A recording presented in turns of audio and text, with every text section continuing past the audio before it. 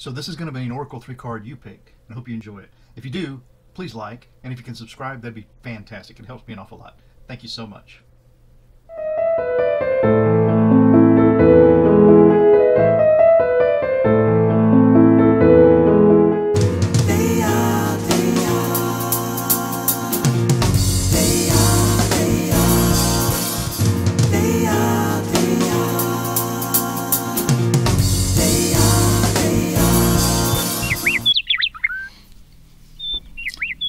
Hi, I'm Marc, and this is my journey through tarot. Come on.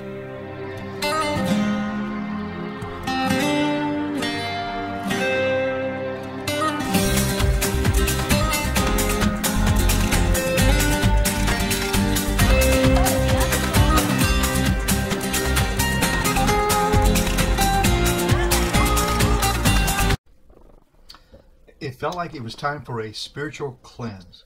So let's have this Oracle uh, three card uh, you pick and uh, and just uh, relax and see what the cards have to tell us. So these cards are the ancient Italian tarot. These are Lo Scarabeo cards and um, they're very interesting. What happens here, if you're used to, they harken back to like the 15th century, the mid 1400s, where um, uh, tarot is, is, is supposed to have uh, originated. And uh, the guidebook that comes with these is not too difficult to read, although the writing is kind of small, but it does come in several different languages. So uh, you can look that up and see uh, if your language is here, if it's not uh, English is your first language.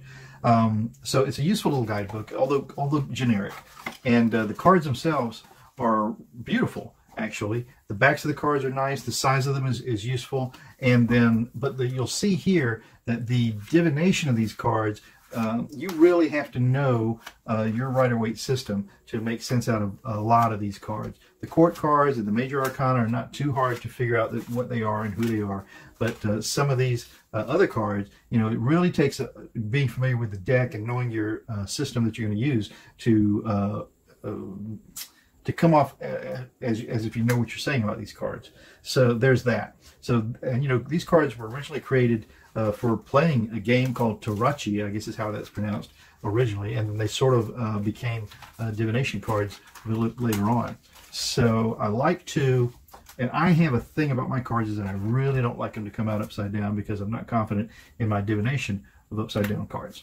But so that can be an issue with some of these because you don't really know. And I guess it doesn't matter with these if they come out inverted or not. But um, so that's what you've got. If you're thinking about getting these cards, um, that's what you're going to uh, deal with there. So this today's uh, kind of spiritual cleanse will be this Oracle three card that you pick. I'm going to use the same deck for the Oracle as I do. Wow, they really want to start working today. As I do for the um, Dyadic Cross uh, in the end for each of the uh, three uh, Oracle cards.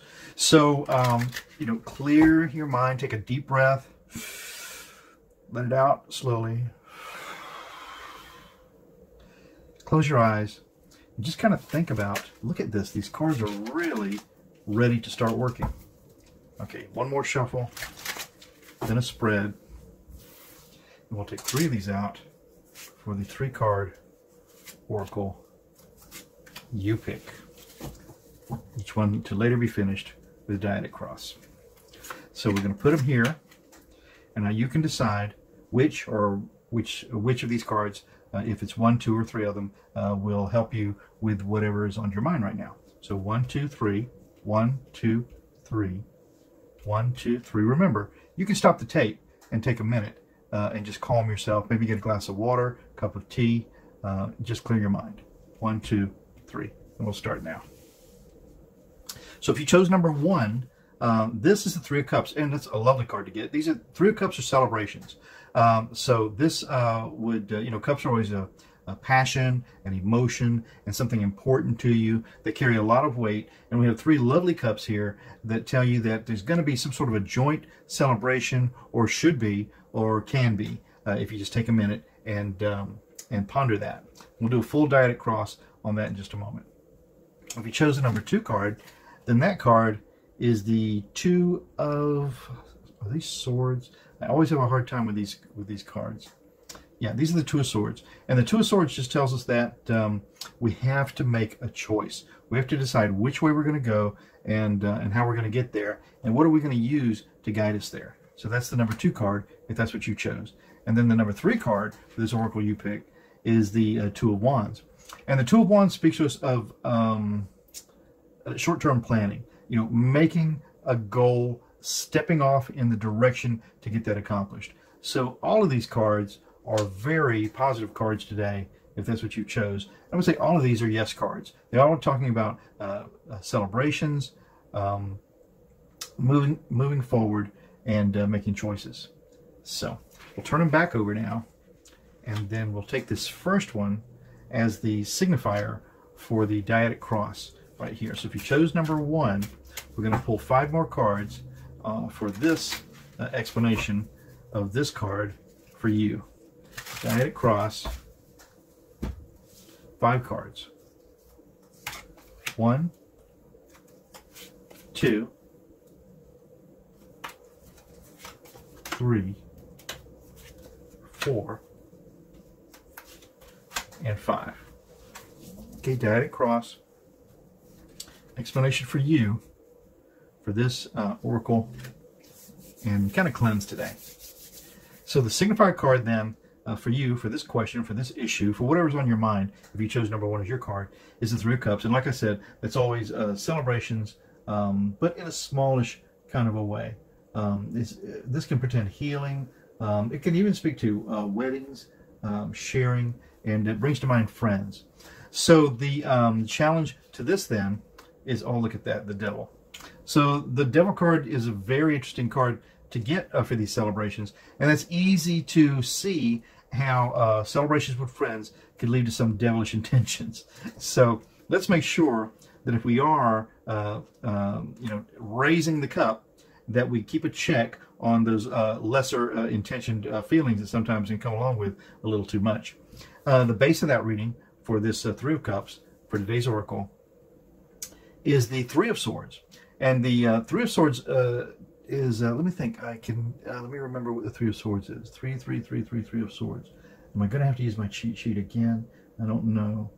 So, it's, um, oh yeah, this is the one that's usually three swords through a, a, a, a heart. So, yeah, again, look at the caution that we have to take here. Let's have the celebrations, but the Three of Swords speaks to maybe a broken heart, uh, hurt emotions, um, some sort of a shortcoming uh, that we feel. And, uh, you know, sometimes when your heart is broken, it may not be the intention of, of the uh, thing that caused that broken heart. Remember, someone's always looking to get in and take advantage of our situation. The past of this reading then, ah, is the Ace of Swords. Wow, this is really strong uh, in, uh, in swords. So the Ace of Swords is a great big offer of truth. It's an offer of, of justice. It's following the rules. And this one is even crowned uh, with uh, a crown and laurel and celebra celebratory ribbons. So this, um, this uh, offer is kind of what got us started on this uh, celebration, this big justice, this big um, um, guidance towards the right way is what got us started on the celebration. Let's not get sidetracked and um, and hurt anyone. In the sky of this reading is the uh, King of Spades, and uh, which is swords. And the King of Swords again is very much in control of everything that happens to him uh, in his life. He's he's holding this uh, sword of truth and justice uh, with some determination.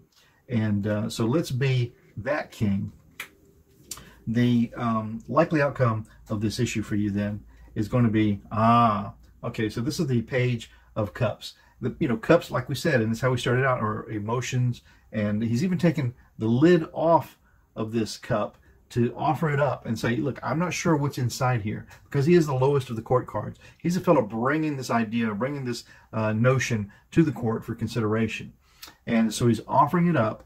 And uh, if this page were, were uh, scared of what he thought might be inside, he wouldn't be doing that. So let's make sure that we take that offer uh, and move forward with it. So just to recap, so if you chose number one, is the Three of Cups, and that's a big yes card. Three of Cups is celebrations over this emotional, passionate situation. We have to be careful uh, that we're not uh, sidetracked uh, by our lesser intentions. And um, the basis of this then started with some sort of a disappointment, and then um, the past was um, the truth and the justice uh, that was offered up without uh, reservation. We can be the king and in control of these issues, and um, we just have to have the courage to look at what's being offered to us, take a little sip before we move forward uh, and uh, with the full celebration. So if that was uh, your card, the three of um, cups, and there we go. So now put these back, and uh, I'm a little low energy today, and then talk about the second card in this lineup, which is the Two of Swords. Two of Swords is really deciding how you're going to get there. I always want to say two, swords are the two of swords in particular are truth and justice. Uh, it can be health, um, it can be rules, it can be guidance, but and it can be uh, force also. But the the two of swords um, can also kind of represent conflicting ideas and opposition and um, indecision. So definitely indecision. So let's uh, concentrate on this two of swords. It's a yes card because it's telling us let's move forward in this in this idea. Going to spread these cards out and take five to further define this two of swords for you. And we'll see what sort of answers we get for that. So we'll make this a nice neat little stack and go on to further determine the meaning of this Two of Swords, indecision, pick a path.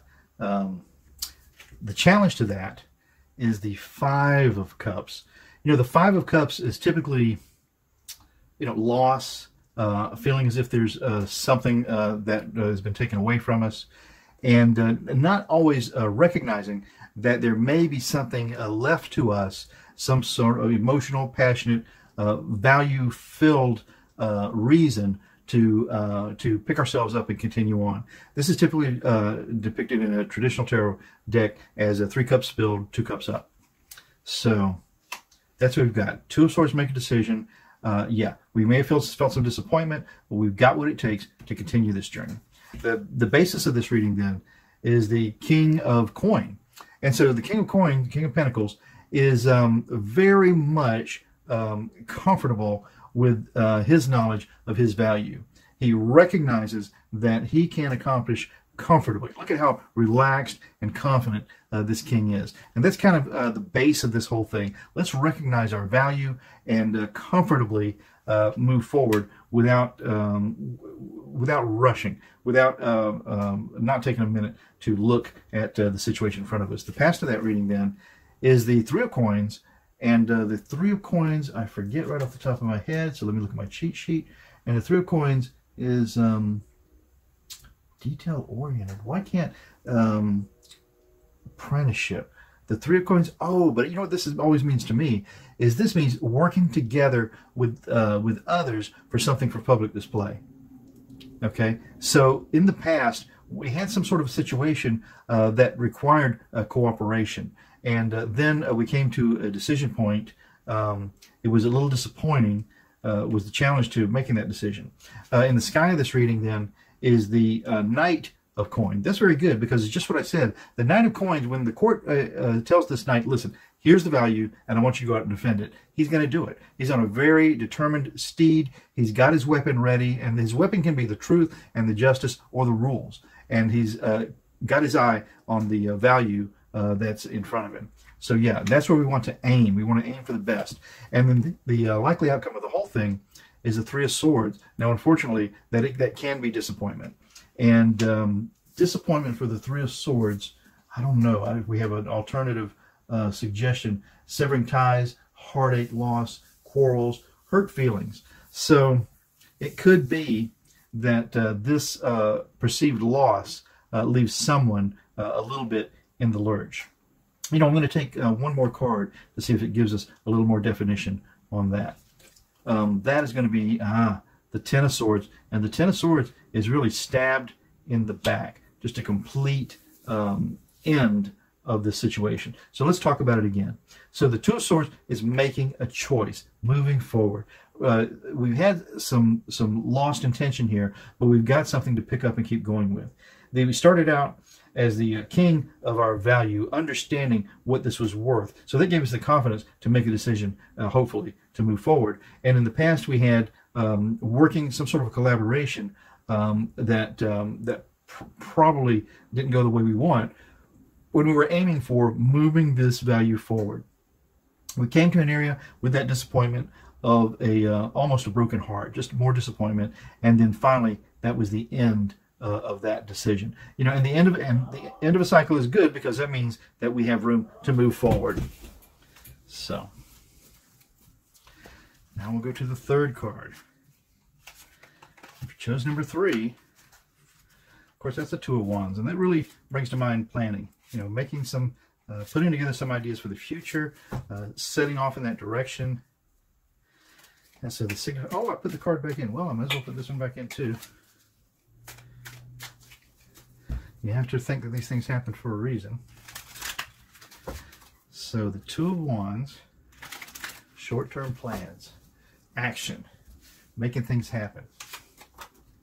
One, two, three, four, and five.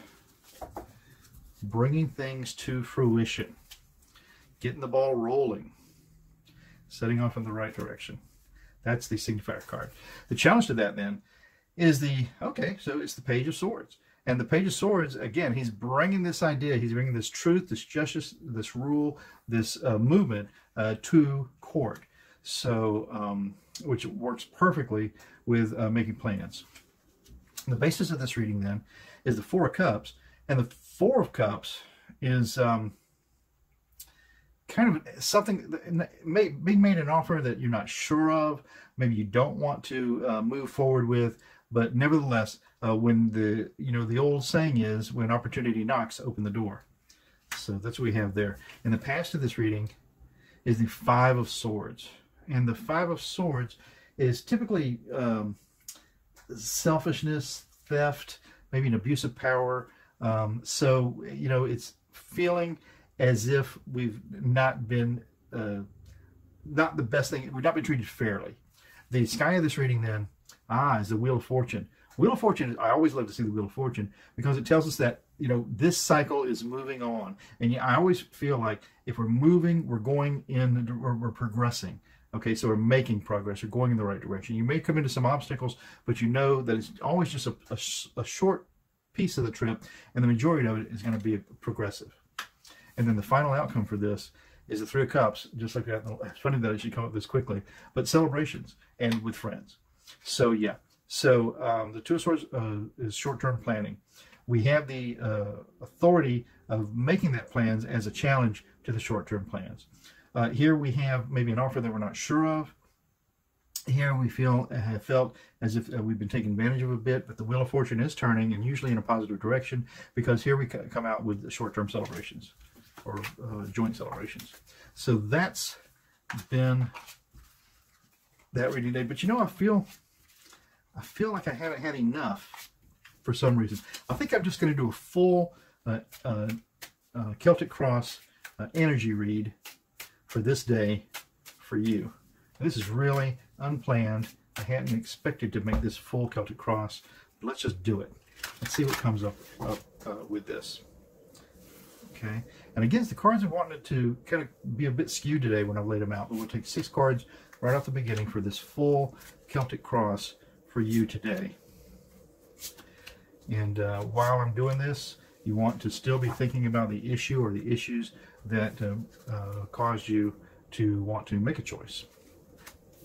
The signifier card for this is the world. Okay, the world is significant of the end of a cycle. And the end of a cycle always pretends the beginning of another cycle. And uh, I love these cards. Look how beautiful they are. This is the uh, that Italian uh, ancient tarot, and they're really amazing. But yeah, so the the world card is a very auspicious card to start off with.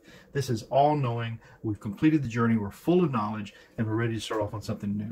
That's the signifier card. The challenge to that then is the uh, page of pentacles. So the page of pentacles, so this is very little worth. This is a fellow who's just bringing this, this idea of value uh, forward. And uh, so that, I would say, speaks to whatever the next part of this journey is going to be. The base of this reading then, look at the cards repeat, is the three of coins. And the three of Coins, like I said, is co cooperation, putting something together of value to to promote uh, what we are, who we are, and um, so that's what we've got there. The uh, pass to this reading then is going to be look at that a great big ace of wands. This is a huge, raw, primitive offer of power of, of, motion, of moving forward. It's an idea, it's a plan that's fruitful, and we've taken it up and we decided to charge forward with that plan. So it all works perfectly with uh, this uh, world card and new beginnings. In the sky of this reading, we have the Six of Pentacles, and the Six of Pentacles is, um, oh gosh, my mind just went blank. Of course it did. It always does when I need it the most. Poor mind. It's not going to be long until it quits me altogether, I'm, I'm afraid. but the Six of Pentacles usually speaks to us, always speaks to us, as a matter of fact, of sharing the wealth, distributing the value, understanding what needs to go there, what needs to go here. And it's another important step and when we're going to start off on a new journey after the completion of this old one.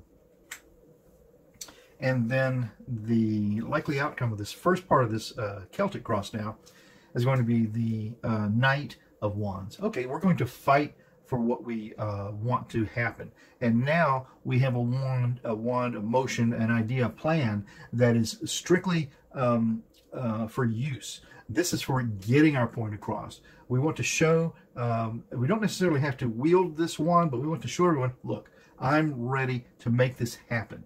I want you to see this. It's a big plan, and uh, we're going to move forward with it. Um, I'm going to make this horse continue this journey. Now, for the last four cards, of this uh, Celtic cross, the self of the issue is the king of value. Again, repeat card from the other cards that we did. So the king of uh, pentacles is the is the absolute ruler, comfortable ruler of his um, of his value. And he's in the environment of look at that, taking a moment. This is the hangman.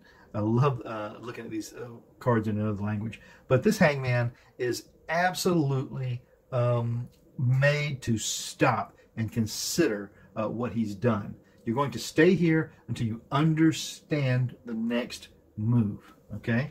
So that's the environment that that's in. The um, hopes and the fears for that.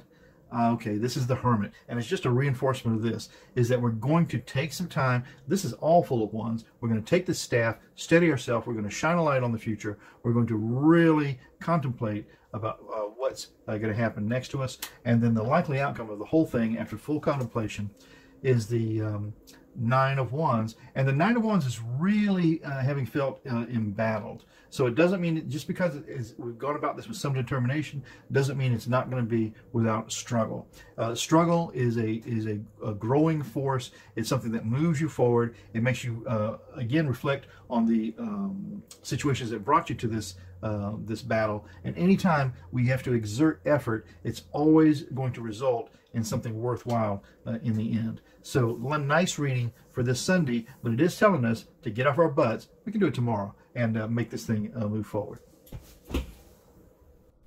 So, the takeaways from this today, I want to say, are we're at the completion of a cycle. We're going to move forward, and um, and we want to do it with consideration, but understanding that we're in complete control of our value. Okay? So go about this with uh, optimism and with determination and, uh, and make it happen, whatever it is. I'm Marc, My Journey Through Tarot. Tomorrow's another day. Stop by, we'll do it again. Ciao for now.